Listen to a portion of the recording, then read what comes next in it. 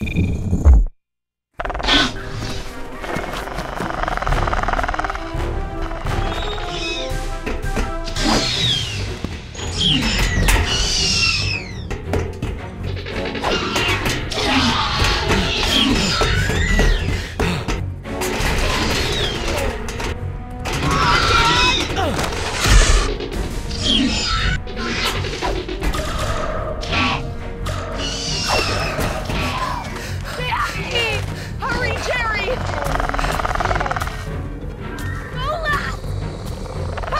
Hurry!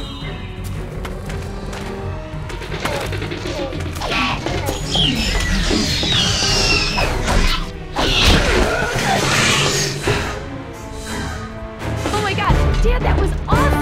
How'd you do that? Guess the old man still has a few good moves, huh? You are lucky to be alive, Gerry. I've never seen anyone outrun a velociraptor before. Where did they come from? What are they doing out here? Must have escaped from the quarantine pen somehow. Raptors are highly intelligent. They'll find a way up here if we give them enough time. Yes! It's Yoder!